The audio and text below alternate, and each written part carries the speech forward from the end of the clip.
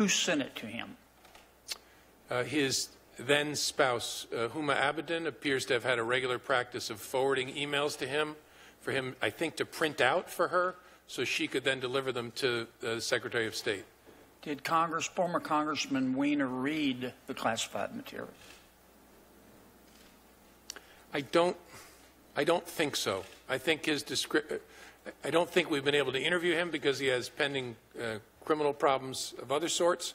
But my understanding is that his role would be to print them out as a matter of convenience, If he did read them, would he have committed a crime? potentially. Uh, would his spouse have committed a crime? Again, potentially. It would depend upon a number of things. Is there an investigation with respect to the two of them? Uh, there was, it is, uh, we completed it. Why did you conclude neither of them committed a crime? Because with respect to uh, Ms. Abedin in particular, we, we didn't have any indication that she had a sense that what she was doing was in violation of the law.